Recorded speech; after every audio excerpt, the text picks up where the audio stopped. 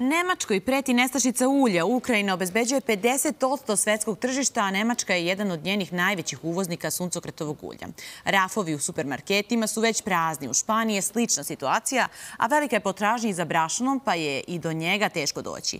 Kakva je situacija u Srbiji? Da li imamo dovoljno rezervi? Da li bi trebalo dozvoliti izvoz žita? Ili nemamo potrebne količine zaliha za naše potrebe? To ćemo pitati Zdravka Šajatovića, predsjednika Udruženja mlinara i fabrika Testenina Žito Unija i elekt, agro, pardon, ekonomistu Žarka Galetina. Dobro jutro, hvala vam što govorite za jutarnji program prve. U Nemačkoj i Španiji situacija je kao što sam rekla, rafovi ulja su prazni gotovo i brašna takođe. Da li znate da li je povećana potražnja kod nas? Evo, gospodine Šajatović, možete vi prvo. Tražnja je naravno povećana. Moram da kažem da Srbija ima sreće što ima jako dobre bilanse hrane, što je već kod nas tradicionalno. Imamo više nego dovoljno za domaće potrebe, a imamo i dovoljno za izvoz. Naravno, treba voditi računa o bilansnim količinama, pažljivo to izmeriti i izvoziti u zemlje iz našeg okruženja gde smo mi kao najveći proizvođač i izvoznik u CEFTA području tradicionalno glavni snabdevač našeg regiona. Ono što želim da kažem da je država malo plahovito reagovala na ove nestašice koje se već javljaju u svetu i najave da će biti kriza sa hranom koja je već počela i kao i kriza sa energijom Po meni je država trebala odmah da utvrdi kvote, znači da vidimo koliko imamo raspoloživih količina pšenice, kukuruza, ulja, brašna i da utvrdi kvote za sve osim za brašno. Mi imamo toliko brašna da ne znamo šta ćemo s njim. Znači, izvoz brašne treba ostati na slobodno. U prethodnim godinama, kad god je država zabranjivala izvoz brašna napravila je grešku. Samo da vas podsjetim, pre dve godine kad je počela ona, oni problemi sa koronom, odmah je zabranjen izvoz brašna. Mi smo kao udruženje vrlo brzo reagovali, ministar izašao u susjed, skinuo je zabranu i mi smo za dva meseca izvozili 35.000 tona brašna bez da smo ugrozili domaće tržište. Mi imamo kapacitete, imamo sirovine, imamo tržište, koje je sad u blagoj panici. Znači, naše najveće tržište za brašno je Makedonija, Crna Gora, Bosna, jednim delom i Albanija i mi bez ikakvih problema možemo da snabdemo to tržište. Sada je na tom tržištu nastala panika, jer su mi kao glavni snabdevači tog tržišta prestali da izvozimo brašno.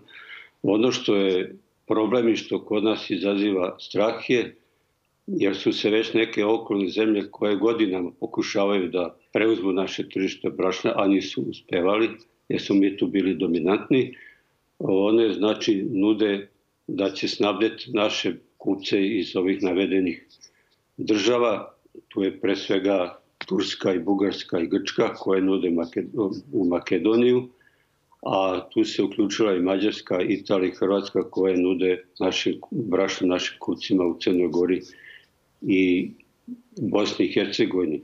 Želim da kažem da je u tim državama panika povećana i činjenicom da one nemaju robne rezerve.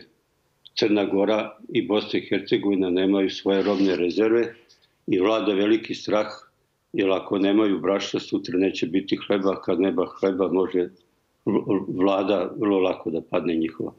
Znači ono za čega se mi zalažemo svih ovih dana, bezbroj dopisa smo uputili nadležnima, nažalost još nisu reagovali, je da se podhitno ukine zabrana za izvoz brašna, da se vrati na režim slobodno, a da za kukuruz, ulje i pšenicu se utvrdi kvota koja će se stalno pratiti i ona može mesečno da se povećava ili smanjuje.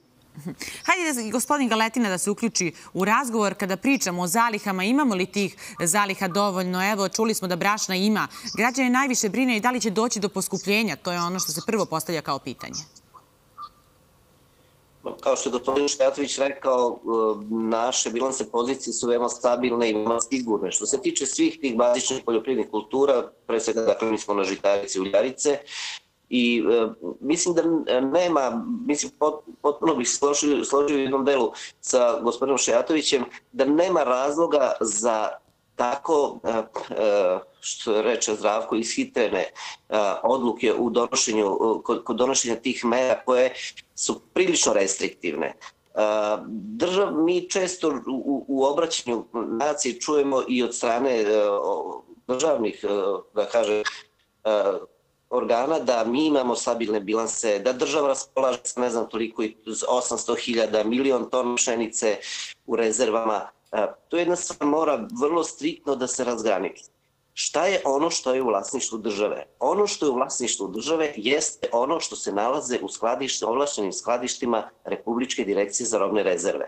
Dakle, kada se kaže da Srbija ima da raspolaže sa milion tona rezervi pšenice, to ne znači da država raspolaže sa milion tona uh, uh, rezervi, da robne rezerve, dakle da država raspolaže u vlasništvu sa, sa milion tona i 800 hiljada tona, sad se tu neke cifre spominju. Ono što je izvesno jeste da, da, da na nivou dakle, Republike Srbije preciznim bilansiranjem možemo doći do vrlo tačnih podataka koliko Srbiji treba do nove žetve, odnosno do nove berbe kukuruza, je tako, i soje i suncokreta i tako dalje, i koliko je ta, ne znam, uobičajena mesečna potrošnja za domaće potrebe, da vidimo šta nam ostaje za izvoz. Dakle, ta prosta matematika nas dovodi do, do podatka da nije bilo potrebe da se, uvod, da se dovodi, eh, eh, da se uvodi mera eh, striktne zabrane izvoza, već da se jednostavno donese da li je to sistem praćenja izvoza kroz davanje izvoznih dozvola, nešto slično što su Mađari uradili, ili je to kvotiranje.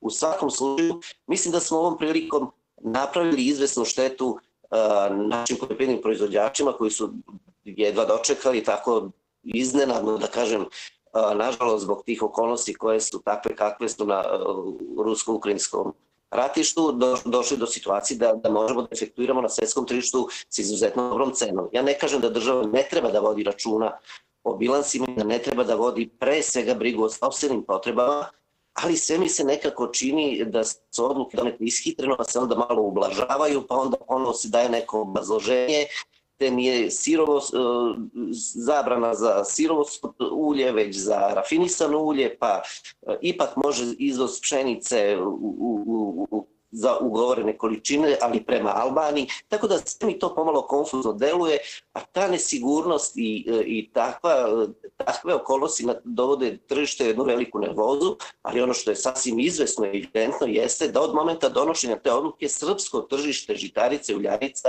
je potpuno stopirano, da tako kažem, blokirano i zamrlo. To je samo dokaz da je izvoz taj koji održava i izvoznici na kraju krajeva kao glavni akteri u toj celoj priči praktično održavaju likvidnost srpskog tržišta i mislim da je, ponovit ću još jednom, da ova mera je bila previše jaka i da država jednostavno nije odolela tom nekom slatkom iskušenju da kontroliše apsolutno sve. Mislim da ovog, ovoga puta nije bila potreba, nije bilo potrebe za donošenje jedne tako rigidne mere i da se kroz sistem kvopiranja izvoza moglo jednostavno omogućiti e, našim poljoprivrednim proizvođačima da ostvare neku dobru cenu napolju. Dakle, e, da sumiram, e, bilansnih problema Srbija nema, kroz blaže mere kontrole izvoza možemo da kanališemo čitavu priču do, do uvođenja Srbije do, do nove žetve ili do nove berbe, do te mere da smo potpuno bezbedni što se tiče domaćih bilansa, a da izvoznicima omogućimo da, da ne izvoznicima, već našim poljoprivrednim proizvođačima, na kraju krajeva vlasnicima robe, koji tu robu u ovom trenutku imaju, omogućimo da mogu na svetskom tržištu da efektuiraju, da tako kažem, sa izuzetno dobrim cenama Da, ali predsednik Srbije je rekao da će Srbija izaći u susret zahtevima zemalja u regionu za povećanim izvozom brašna i ulja sve dok to ne ugrožava potrebe domaćeg tržišta. Zar to nije uh, ohrabrujuće? To čemu vi pričate, ipak će država naša dozvoliti izvoz. Pa znate šta, ako država nije vlasnik, vlasnik robe je poljoprivredni proizvođač iz gospodinaca, poljoprivredni proizvođač iz, iz um, Alesinca, poljoprivredni proizvođač ili ili otkupljivač, ili, dakle, oni su vlasnici robe i vlasnik robe odlučuje gde će svoju robu da proda. Država se u ovom trenutku kako bih rekao, ponaša tako da je da resurs koji ne pripada državnim organima, već onima koji proizvode pšenicu, proizvode kukuruz, proizvode suncokret, I država raspolaže tom robom tako što će reći, ej, izvešćemo tamo, nećemo ovamo. Ja mislim da je to jednostavno e, stvar, e, vi kada birate kupca, vi ćete izabrati kupca koji vam najpouzdaniji, kupca koji će vam najbolje platiti, koji će vam, kupca koji, će, koji vam nudi najbolje uslove.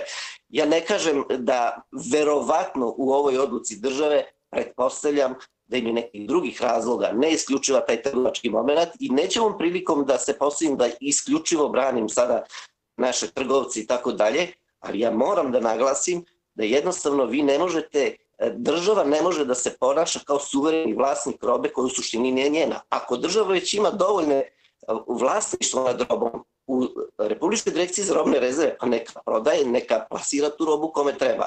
Ali država jednostavno o, na ovaj način se neko postavlja kao apsolutni domaćin na drobnu koja u suštini je u vlasništvu poljoprivrednih proizvođača ili otkupljivača ili izvoznika ili trgovaca koga god. Mhm. Gospodine Šajatoviću, e, i kod nas se povećala potrošnja, potražnja, pardon, za koliko u odnosu na isti period protekle godine? Je li imate tu informaciju možda? Pa, mi smo napravili jednu analizu potrošnje hleba, što je usko vezano za potrošnju brašna kao sirovine. E, kod nas već 13-14 godina pada potrošnja hleba po glavi stavnika. Analizu smo radili na bazi statističkih istraživanja, znači naša državna statistika radi svake godine određene ovaj, ankete i podatak će vas sigurno iznenaditi. Znači u zadnjih 13-14 godina potrošnja hleba po glavi stanovnika u Srbiji pala je za 30%. Znači, mi, nama se smanjuje domaće tržište, drugi razlog što se smanjuje domaće tržište je smanjivanje broja stanovnika, više umire nego što se rađa, jedan broj mladih je otišao u inostranstvo i potom ostao se smanjuje broj stanovnika. Mi očajnički tražimo nova tržišta, govorimo o brašnu, nova tržišta je jako teško naći, brašno je roba koja ne trpi daleki transport, Tako da su mi opredeljeni na tržište iz regiona. Na, u tržištu regiona se slične, slične stvari događaju. Tržište regiona, mi smo pre šest godina izvezli brašna 252.000 tona, govorim ekonomski godinama, tako se prati ovaj realizacija brašna. Ove godine ekonomske za 8 meseci izvezli smo svega 84.000 tona brašna. Znači, nama se izvoz brašna više nego prepolovio.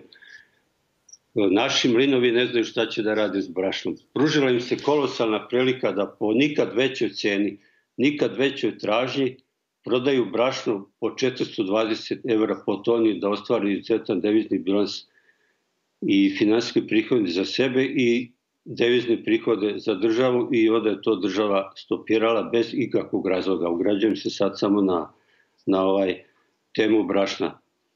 Mi smo izgubili deo brašna, poznato vam je da na Kosovo već tri godine ne možemo da izvozimo brašno, ali Kosovo uvelo posebnu taksu za uvoz brašna iz Srbije od 40 evra po toni, ono je postalo neisplativo. Tu smo izgubili izvoz okrugoro rečeno oko 100.000 tona brašna su manje izvezli na Kosovo za manje, nešto više od tri godine. U Bosnu se takođe smanjuje izvoz brašna, jer Bosna je u jednom momentu bila veliki izvoznik brašna u Tursku na osnovu sporazuma o slobodnoj trgovini, pošto su se Turci, ovaj, kad su sagledali šta se dešava, oni su rekli bosancima, gospoda, vi možete da po tom sporazumu izvozite samo brašno koje je proizvedeno od vaše pšenice, a ne iz uvoza pšenica i iz uvoza brašna koje ste prepakivali. Tako da se i to tržište nama smanjilo. I sad umjesto da smo odahnuli, da smo prodali brašno za avanse, nama nude sad avanse 100%, što je i idealan model trgovine. Država je nama zabranila. Znači, bez ikakvog ekonomskog racionalnog razloga je zabranila i evo to traje već 7-8 dana i još nema najavu kada će da tu zabranu. Ono što, čega se ja bojim, ako se recimo sledeće nedelje ukine zabrana izvoza brašna, možda se desi da nemamo kome da prodamo jer smo izgubili kupce u inostranstvu. I Ali samo da jedno... Što se bude dešavalo u narednom periodu, hvala vam na uključenju i na razgovoru.